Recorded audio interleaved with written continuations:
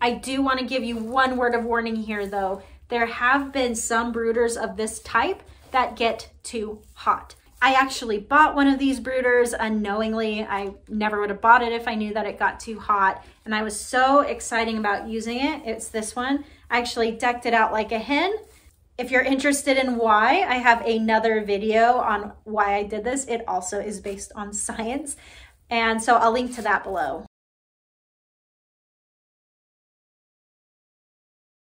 But you can see here, I had it all ready to go. I had the comfort feathers on. I had the nice little hen head and I was so excited to use this this year for my chicks.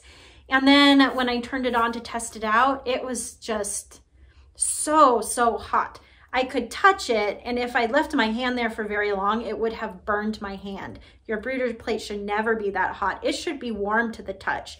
And when your chicks press against it, that will help warm them up even more. So it just, it should not be hot. It should be warm, should never feel like it's gonna burn your hand. And I have read in some forums some anecdotes on some brands that also have had this problem of being too hot. I don't know why this is happening. These things are tested and they really shouldn't be happening. But you do need to be careful on the brand you use. I personally love this one and ah, I should have checked the brand. I believe it's K and H. Yeah, it's K and H. And I'll link to this one below. This one just worked perfectly for me.